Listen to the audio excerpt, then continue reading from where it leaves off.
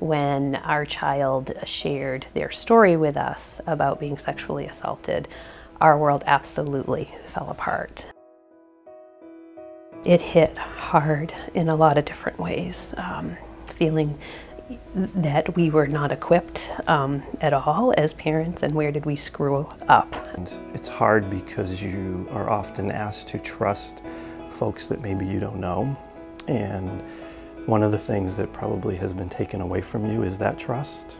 From our experience with our child, we, we had to, to be able to open up that trust again and, and work closely with the CAC. I can't even begin to imagine going through any piece or part of this without the folks from the CAC at our side. What is a CAC? A Children's Advocacy Center, or CAC, is a child focused way to handle child sexual abuse cases. In one place, representatives from law enforcement, child protective, prosecution, mental health, medical, and victim advocacy all work together to conduct an interview and make team decisions in a process that's easy and effective as possible for a child and his or her family. I think one thing that we have learned over the years is for a child to have to come into a police department, into an interview room, is not the setting that we really want a child to have to enter. And when you walk into a CAC, you're walking into a home. And so a CAC home is just a, a warm place for a child to be able to come into, feel safe, and feel that whatever's happened to them wasn't their fault. And that there are individuals that are there and ready to best serve them. Because of my confidence in the Children's Advocacy Center, it is the place where all of the interviews for every single child who has made a disclosure of sexual assault takes place. I need all of those interviews in assessing the case and in deciding whether or not criminal charges should be brought. Prior to the Children's Advocacy Center, they would endure several different interviews with multiple different people telling their story over and over and over again, which really ensues additional trauma. Years ago, They'd have to come in, they'd have to talk to the police. Oh, a police officer in uniform take an initial report. Then they'd probably have to talk to a detective. Then they'd have to talk to somebody at DHS. Then they might have to talk to somebody at Spurwink. They had to keep out somebody to DA's office. They had to keep reliving this and, and telling it over and over. Where the CAC, we all kind of come together as one. The kiddo has to tell the story one time. We all get to listen to it once. CACs can be located in a hospital, a converted mill, a courthouse, or a house. But each CAC works towards accreditation by the National Children's Alliance using a proven model and held accountable to national standards. In Maine, all CACs are connected and work together.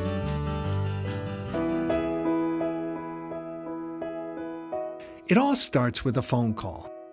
When I get my cases as a, detective and I receive the basic information that I have from the uh, victim and the family, I then call the family services coordinator at the CAC who is able to then delegate um, the tasks, the different tasks that happen after that. We call the CAC, we um, tell them what we have, who the victim is, give them some of the demographics. A detective calls me and says, look, this just hit my desk. They called me in, I'm a, the on-call detective you know, what do you want me to do? And I'm like, whatever you do, don't interview that kid. you know, we called CAT and say, hey, how soon can we get this kid and family down to the CAC to do, to do an interview. Obviously, there are emergencies that a CAC can't accommodate or occasions when it's better for the child to wait. But the CAC's goal is to accommodate everyone as soon as possible.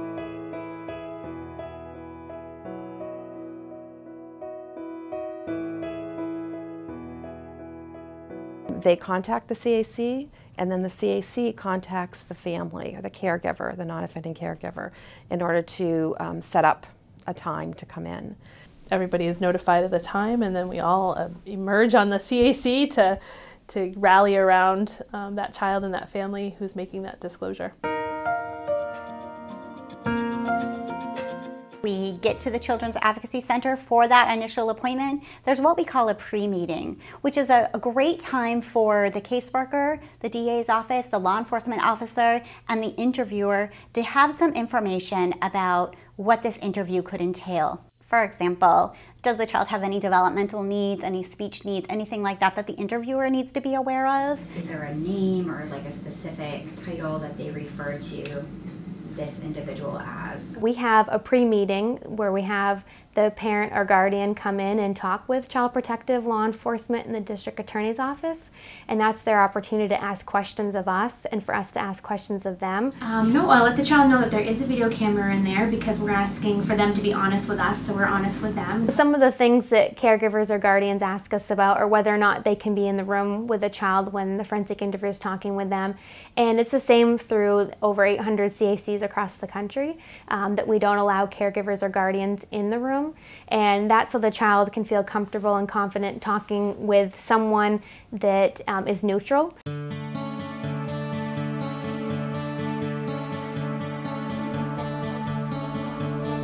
When the interview actually takes place, they, the child does go to another room um, without the parent with the forensic interviewer. That interview is recorded and the multidisciplinary team watches that interview. The fact that it's being recorded and that there are people watching it, I think gives the parent a lot of comfort to know that the child's fine. So tell me about yourself. What kinds of things do you like to do for fun? For one, it's one less interview that I have to do. And it's a specialized interview. It's a very delicate interview to do. And when I, as a law enforcement officer, can take that interview to someone that's specially trained, that's a win-win for everybody. It's a win for the child and it's a win for law enforcement. The interviewer will pause at some point and get any additional questions that the observers want asked. The other thing I think I sometimes hear from caseworkers is, you know, what if they don't ask all the questions that I want them to ask. I don't know any caseworker who hasn't done an interview out in the field, come back to has come back to the office, listened to their voice recorder and gone, "Oh shoot, I wish I had gone back and asked a follow-up to that question." At the CAC, they're able to be the person listening live and in the moment and taking those notes and, and saying, "That's an important thread that we need to pull a little bit harder on." The word that comes to mind is neutrality.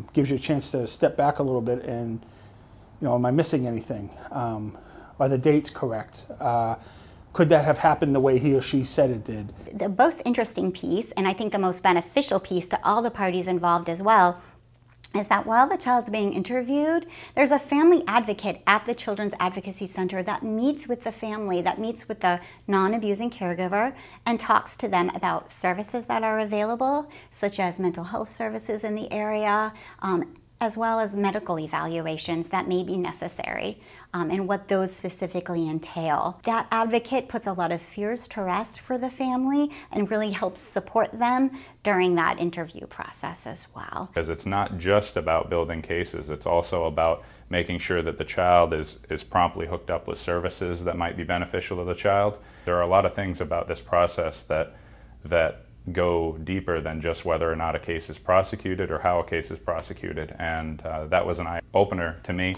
and I think it will be to a lot of uh, new prosecutors too. Mental health, we come in on the, on the tail end of things to make sure that families' needs are being met, that we're setting families on a path to healing. So, you know, from start to end, I kind of like to think of the CAC as sort of like a crossroads between seeking justice for families and setting them on the path to healing. One of the things that we talk you know, that we see as forensic interviewers is when the child leaves the room. Sometimes they're skipping back into the room to their parents, or you can just almost physically see a weight lifted off their shoulders as they leave the room and then go back to their parent or caregiver, and that's just really an amazing thing to witness.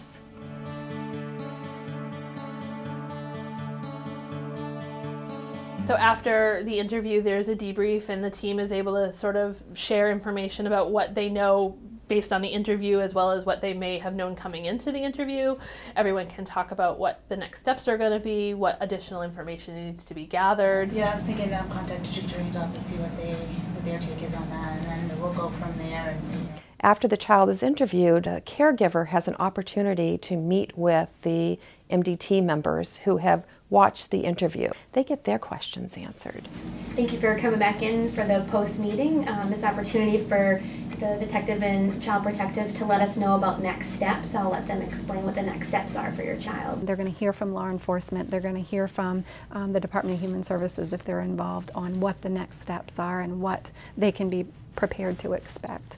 Um, as they go forward because not knowing is pretty anxiety provoking. And while that's happening, the child is in with the family services coordinator and possibly making a tile. All of these handprints not only represent all of the great work that the Children's Advocacy Center has done, but it also represents a world of survival for these for these children and their families and that they're not alone and that 3 months later, 6 months later, a year later that there's always a place, there's always a person that they can reach out to.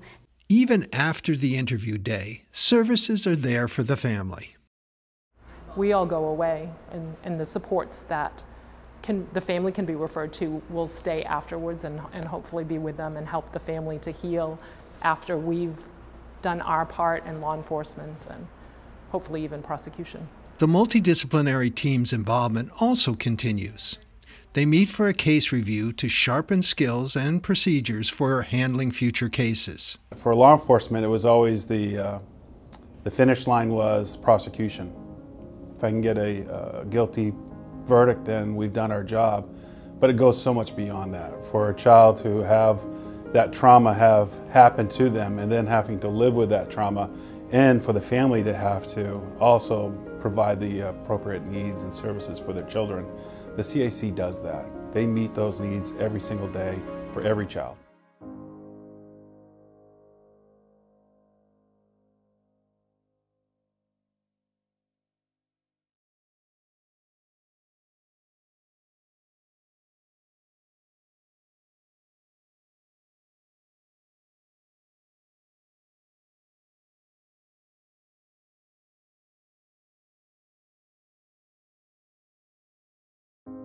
Children's advocacy centers offer clear benefits to the child, the family, and the members of the multidisciplinary team. Advantages start with the interview itself. When you have a client that you're sending to the CAC that's a controlled environment that's very different than sometimes when we're out in the field and we're trying to interview a victim of sexual abuse. Um, we don't have control over the room that we're sitting in. We don't necessarily have good control over um, our audio recording devices. If you're not specifically trained to interview children, trying to interview a child can be pretty stressful and worrisome. Knowing that the CAC is there is a huge, huge stress relief. So it allows me to actually absorb more information from the child as opposed to um, administering the actual interview. You're trained to ask these open-ended, non-leading questions. That in and of itself is very different from what law enforcement are used to asking. So the two, it's almost like night and day. They're very different. So to have that formalized training to be able to ask these open-ended, non-leading questions is very important. When you deviate from the, the court-approved, tried and true methodology of talking to kids, it's no longer it's no longer defensible. And what you have is a tainted interview that a defense attorney can walk all over in a trial. Sometimes people are worried, you know, do I have to go to the CAC because they think I can't do the interview as well as the CAC can do the interview? It's not about caseworker skill level, um, but it's about someone who's dedicated to doing that day in and day out, and really coming in and having a team from the get-go um, is, is helpful because those are all the people they're going to have to coordinate with anyway. So it ends up being one-stop shopping for caseworkers um, and a time saver. And so it's not about uh, people being able to do a better job than than you or a worse job than you, but it's just about being able to be part of a team right from the beginning. Many of the CAC's benefits come from the fact that there is a multidisciplinary team. We are never a part of the investigation. In fact, we are a neutral party, and I think that's really important for people to understand so that they know that they're the ones doing the investigation. We are a tool. We are a part of that process. We are not instead of. We are doing it collaboratively and with you. One of the great things about children's advocacy centers uh, is that they bring the assistant district attorney uh, in early uh, in the process. One of the reasons that um, it's good to have a prosecutor uh, involved is because a prosecutor might be looking at an interview with a child uh, and be a little more focused on, on dates, locations, uh, elements of potential crimes, the types of questions that that prosecutor would want to ask the child if he or she were on the stand. Those are the questions that are going to come into his or her mind as that interview is going. Uh, so the earlier they're brought in uh, to the process, it means they're a lot less likely uh, when the case is pending to, to have these unanswered questions or to possibly want to uh, coordinate a second interview or third interview. We always uh, really try very hard to avoid doing that. Before we had a child advocacy center, um, usually I would not even find out about an ongoing investigation of sexual assault um, of a minor until the whole investigation was done. With a child advocacy center, it's all done simultaneously at the forensic interview while the child is disclosing um, or discussing things, we actually have our statute book out. And as they're talking, we're looking at what crimes fit. The interview can give you information of how, uh, who else to talk to, where there might be some other physical or other evidence in a case. Credibility is always at issue in trial, somebody's credibility. So when they can fill those in with details about was it light or dark out? What was the time of year? Was it near your birthday? If, if they can begin to identify those things, particularly in cases like this, having a standard operating procedure is very good. And we do the same thing all the time and you know, we don't vary from it. Um, we get very good results. We get repeatable results. When a forensic interview starts an interview, they're just having a normal conversation, asking them about their day. Then when they start to get into specifics about why they're there. And when the child then has to start telling what happened to them, you see the affect change in these children. And that is priceless because you go from a child that's cheery, that's talking about everyday life, to a traumatic event that happened to them, and their affect change can show everything. You don't even need the words. We often don't have to go to trial because of these interviews. They're so well done. It's clear what happened. So you've got this person or this kid who presents so well in that interview and they're watching that they're like oh I, I don't want any part of that. You know maybe maybe it will help us resolve this so the kid wouldn't have to testify at trial. The power of seeing the child talk about this is what happened to me. This is how it's impacted me. Uh, you really can't understate the power of that and I think sometimes in the past what's been frustrating when you work with a family is that there's a lot of different people involved and everybody might have a really small piece of the puzzle. And when you only hold a small piece of the puzzle, you don't get to see the big picture. And being part of the MDT, you might know what everybody is holding for their small piece. And then when you can step back and see that, it may look very different than when you're just looking at your individual component. I think as a detective, we always want to have the answers for everything, um, but we don't. It's impossible. I think the best thing to know is who to call when you do have those questions. And for me, contacting um, the various members of the CAC MDT is crucial. The communication that I've had with um, the prosecutors who handle my, my cases has improved tenfold. They're actively involved with the CAC interview process and um, they know the ins and outs of the case. Spend less time having to explain the case to a prosecutor. They actually have more involvement and know what's going on. And I'm just one part of it. Before, I was everything. I had to be the SART advocate, the investigator. You had to do it all. You know, I had to be the point person for when it was going to come to court, things like that. Now you have a bunch of people who are all invested in seeing the case come through and taking care of people. So it's not all just on us. One of the things that I've seen with my own staff is that there's a lot of cross learning with different disciplines that we're working with. We may have a problem where our victim says to us, uh, I'm, I'm scared. I don't feel comfortable where I'm living. I, um, and I, I want some help. Well, if I was only a part of a prosecution team, I have no tools to help a victim. But because I'm a part of a multidisciplinary team, I know who to reach out to. I know who has the shelters. Law enforcement is it's its own community, and when you talk about mixing, mixing it up within other disciplines of child protective, uh, sometimes it can be oil and water. The, the two sometimes don't mix very well. And uh, I was pleasantly surprised when I attended the forensic interview training that uh, we mix very well, and I've made some lasting contacts through my trainings with the CAC and, and, as a forensic interviewer. We may have our own roles, we may have our own specific laws that we have to follow, or policies or practices, but all in all, we're all looking at achieving one particular thing, and that's minimizing the trauma that children and children and families experience through these difficult times, and working together so that there's a solid prosecution and address in addressing these issues. At certain intervals, multidisciplinary members come together for case review. I like the reviews when we may be in a place where like, look, we're stumped. You know, we want to go forward.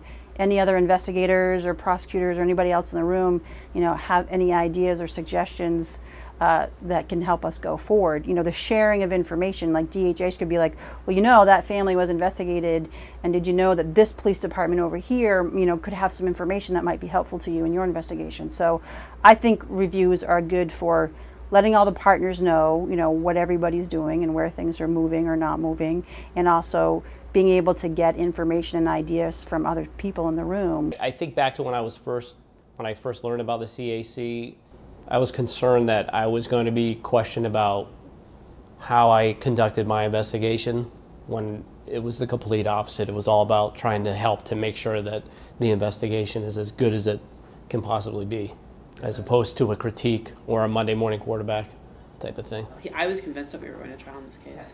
She immediately filed for a protection order and immediately stopped contact. So there was no need for DHS in that area to get involved for that.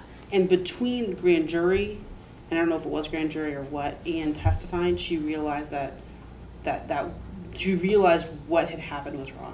We want people to know that this resource exists. We don't want people to have to go through um, this at all. Uh, but if you have to, these are the people you need on your team because it takes a team uh, to get through something like this, for sure. The best thing I can tell you is to really walk through this process and leaving all of those reservations you have at the door uh, because the CAC is an amazing organization that's going to be able to provide and come alongside you. They're not going to look to take over your case. Their goal is not to investigate this. Their goal is to do the best that they can to come alongside you, interview this victim, and be able to provide the best resource for them and for you moving forward.